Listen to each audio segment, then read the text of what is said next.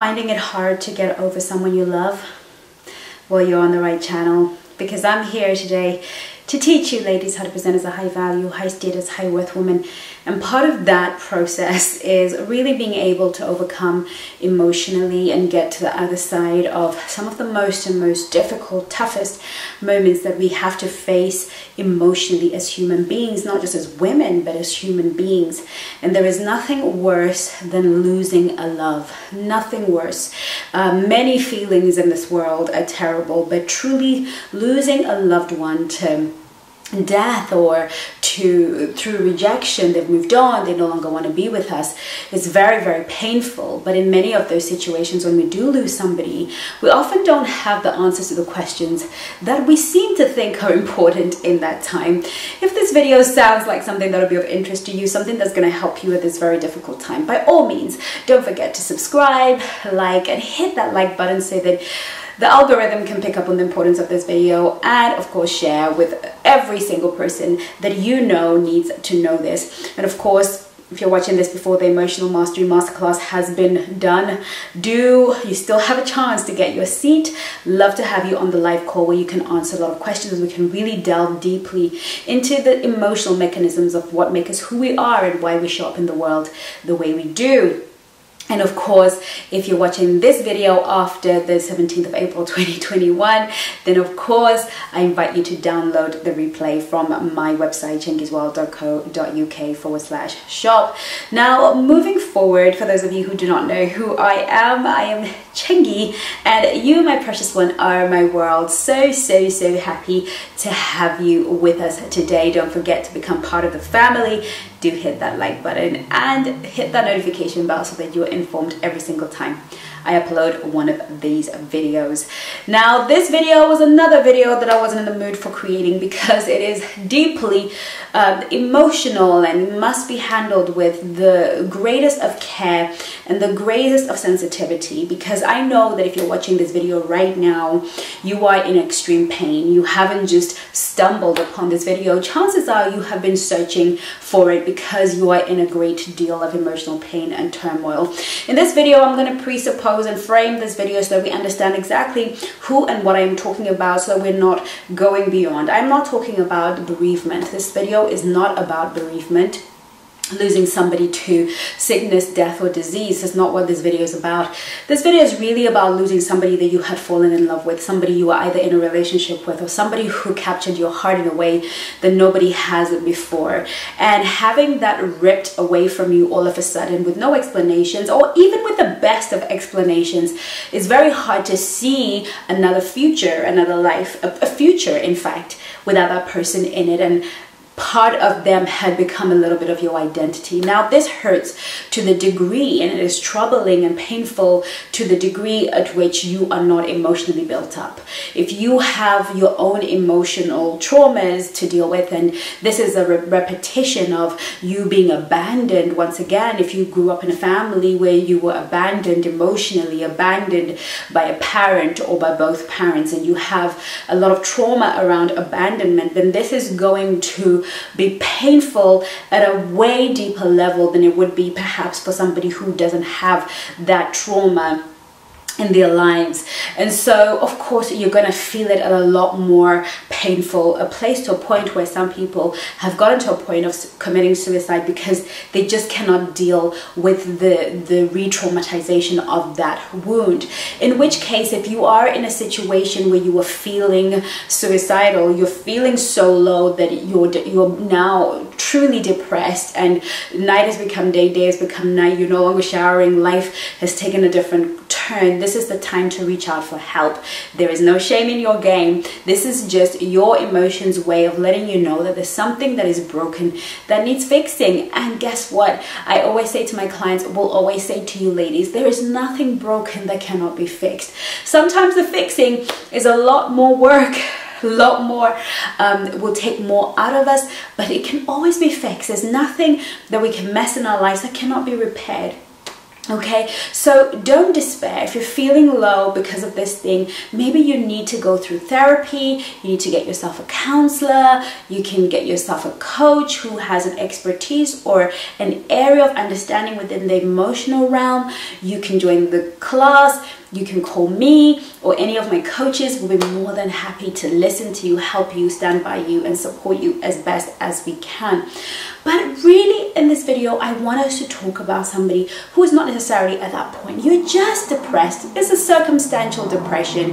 It's because you've lost somebody that you love. You're not going to be flying off the rooftops. Yes, food has lost its taste and the bed is like a torture chamber because you can't seem to close your eyes and dream and think without him being on your mind 24 7 this is something that is normal and this is about usually the bond that we create with other people the bond that we create with a man especially when we have been sexually involved with him. Now this doesn't necessarily mean that for you to be bonded and really into somebody is because you've had a sexual bond. You can actually form a really strong bond with somebody who you've not had sex with because of the meaning you have placed on that relationship. You have uh, finally found that person who hears you understands you because perhaps all your whole life you your whole life you've never felt understood seen or heard in that way. And so the need he was meeting is more important and more powerful than the personality themselves. And so you can be really sad, really depressed, even if you haven't actually had sex with that person. If you have, then you've got more of that chemical bonding and that biology. And if you have, it takes about two years for your neurochemicals to start to break up and come into alignment. But we can actually help the process along. We can try and speed it up. And nothing of what I'm going to say to you today is going to be easy to do. It's not going to be easy to get over somebody you love. And every step that you take in this direction is going to be counterintuitive because right now, even if you can't have the person, you want to hold on to the memories, you want to hold on to the essence and the pain has become synonymous with the person. So if we hold on to the pain of losing them, then we're still holding on to a piece of that person. And whilst the pain hurts, it hurts so good. Okay, uh, I know we've heard the song, sometimes it hurts so good, right? Sometimes the pain is actually a little bit like when you've done a good workout and you've done some proper lifting and you're feeling good and the next one you can hardly walk. That pain is kind of nice pain because it reminds us of the great work we did and how we're making progress with building up a stronger and healthier body. It's the same thing with the pain. We're holding on to that pain because it keeps us closer to that person even when we know we've lost them. And whilst it's nice to indulge in that feeling, it actually becomes very difficult for your body and the chemicals that are being flooded into your body to have a sense of that pain. Because everything that we feel has a chemical response that is dumped in our body. And so now we are opening ourselves up to sickness to disease to longer term um, you know immune your immune system. So much of your body now is going to be affected because you are not managing this as you should. What I want you to know is that though we bond and though we hurt and though we have pain Our bodies, our minds, and our spirits are designed to come to equilibrium. They're designed to come to balance.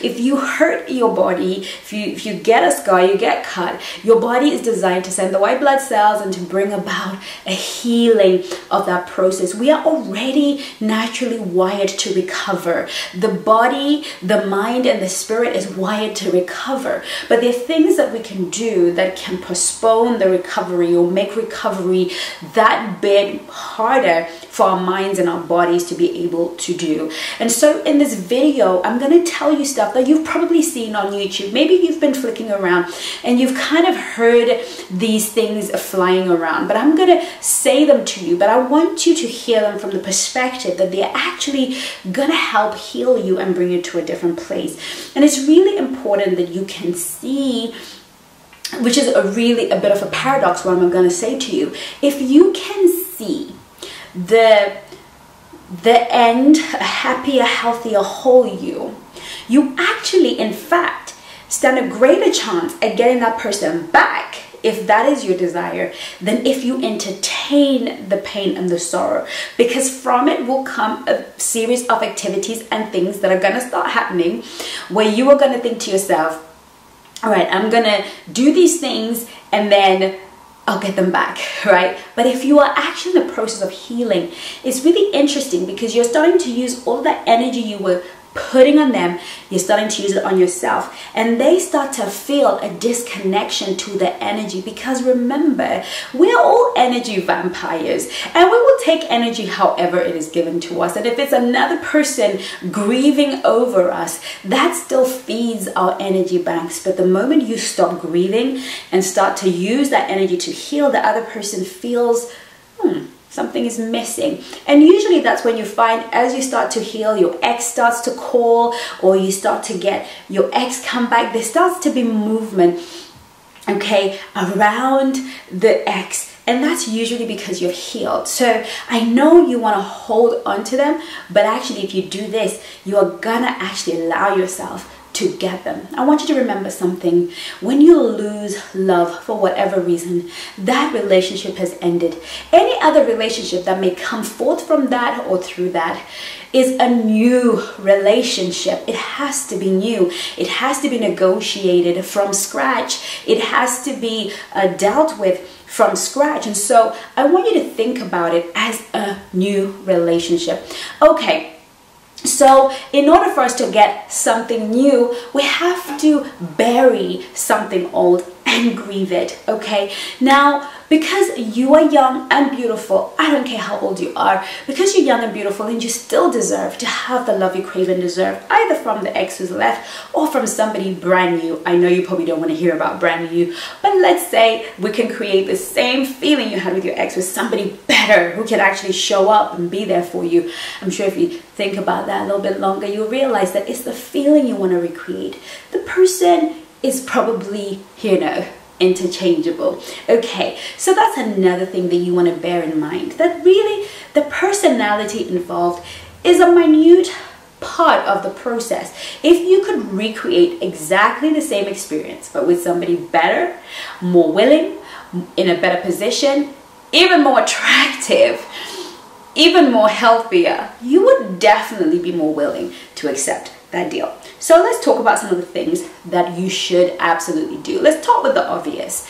At this juncture, you want to block, delete, burn, okay? Block you want to make sure that you haven't got he hasn't got access to you. Block all your socials. Block all this is the only time that i recommend blocking is if you want to get over somebody that you love you have to have a clean cut. Anything jagged fractures are a lot harder to heal than clean breaks okay when something is fractured, it becomes a little bit delicate. If we keep having too much back and forth, back and forth, it's harder to heal. So we want to cut things clean. We want to block that person. It doesn't matter how it is read by them. At this point, it's about your survival. It's not about preserving their feelings. I know when we break up with somebody, we still want to preserve their feelings. We still want to handle them gently in case they change their mind.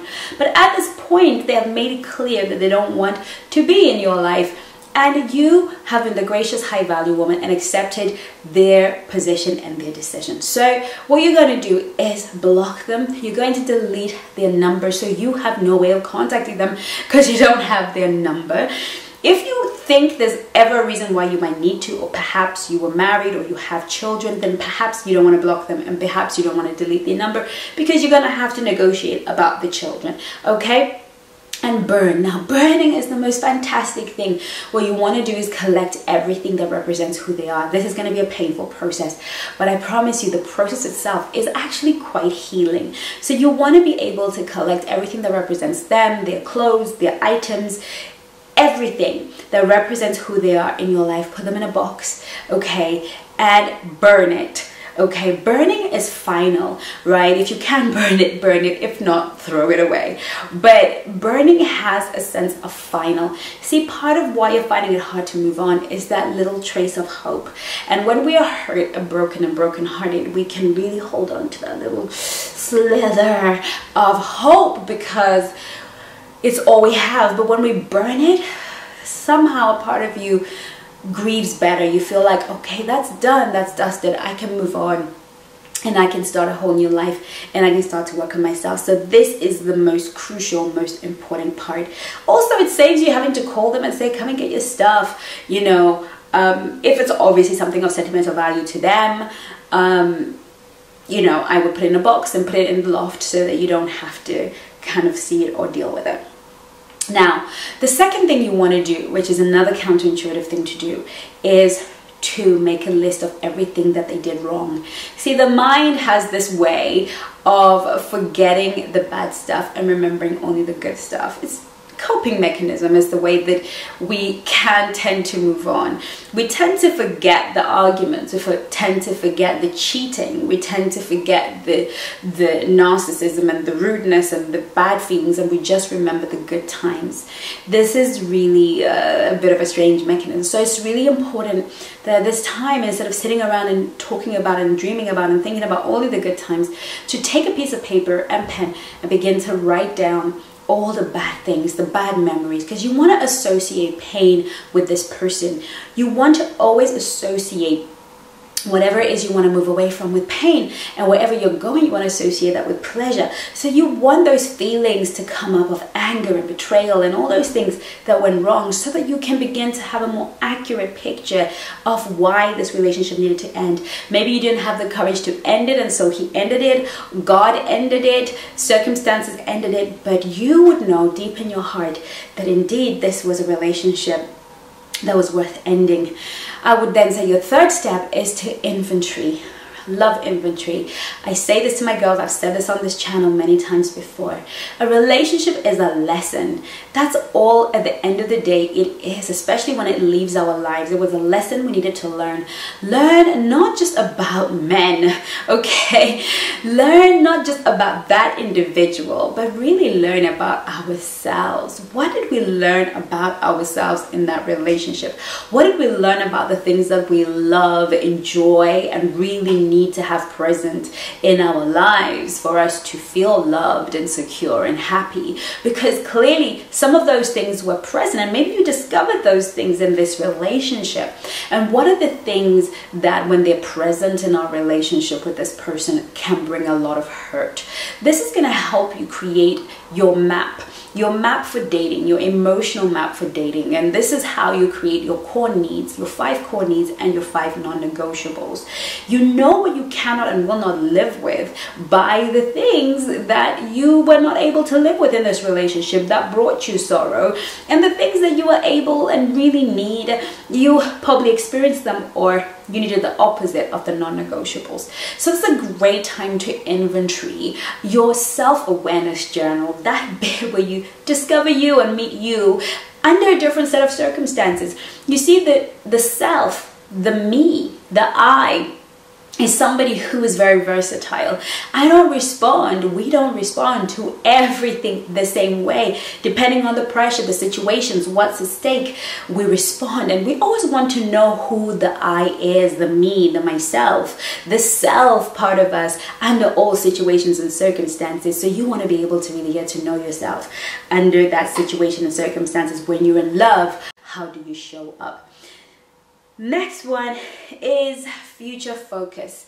It's really important. The mind is designed to either fire old networks, neurological wiring, or to fire new pathways. And what you want to do is begin to really focus on firing new pathways. You want to start to focus on your future. You know, for me, I would always take this heartbreak as a time to say, what is the thing I've been putting off? What's the book that needed to, that I've been putting off writing? I haven't had time to write because I've been so obsessed with this person. What's the business I wanted to start? How can I move my business forward? Whatever it is that speaks of a future, a focus that is on the future. And as more as you fuel that, it begins to take energy away from those from those pathways, the, the firing energy from those pathways and begins to, to, to, to put it in the direction of your future. And the last, but absolutely not least, one is dating other people.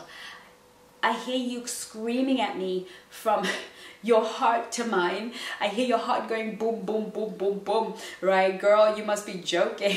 okay. I don't want to date anyone. I don't want to see anybody. But here's the thing as we begin to date other people and begin to smell their pheromones, it begins to break down the chemistry in our bodies, begins to chop it up a little bit so that it's not so condensed and not so powerful. Even if you don't like the other person, just being in masculine energy begins to break down the chemistry and what could have been a two year, very, very, very painful journey can easily become a month because seeing other people, but also psychologically being in the presence of a man who actually wants to be there, who actually wants to impress you, actually spend time with you, is actually really rewarding for the soul you're obviously going to shop a little bit more high value because your heart is not 100% invested in this person. So you're kind of going and you're actually in a position where you can begin to make those moves. And you never know it might be the next person that steals your heart away and that will be your story that you can tell of how a broken heart led you to the man of your dreams. I really want you to take seriously this step of dating other people. It is going to save you a heck of a lot of pain and struggle. The last one I lied, the one that I gave you was not the last one, but I'm going to give you the last one. But for me, the quickest most profound, most powerful way of doing this is something that I did a lot when I used to date and I used to get easily attached and, and feel really disappointed when something didn't work out. So I worked out, I stumbled upon it by accident. I was actually fasting and praying over a guy that I'd lost and I wanted him back. But I found after the three day fast that I'd done, I didn't really care. It's like something had come out. I felt free, I felt liberated, I felt happy. I felt, oh, okay, right? I want to um, suggest to you if you are somebody who fasts, whether it's for health, health reasons or spiritual reasons or weight loss reasons, fasting is a great energy tool. It's a tool that allows us to get rid of bad and old energy and opens up room for new energy. And so when we fast, especially if you're Christian and you're fasting, it's really to get rid of old energy and let the energy of the Holy Ghost come and take residence. If you're spiritual, it's a way to fast and open your spirit to new and exciting new things to come into your life. If you're just a faster, you'll find that you always feel better. Your body renews itself and can dump some of those chemicals that have been that have been in your body. So physiologically, emotionally, and spiritually, it is such a quick fix okay i'm not saying it's gonna work for everybody but it works most of the time maybe for you might have to be a seven day fast or 30 day fast but trust me fasting is perfect. It's so good for recovery. I would literally fast three days and be over it, three days and over it, which allowed me to perpetually move forward, learn and grow. So that is how, and with of course the bonus tip at the end, that is how you can begin to move past uh, losing somebody that you love. I hope this video was helpful and will help you recover at this very difficult time. In the meantime, I'll see you on my next video. Take care of you. Love you lots.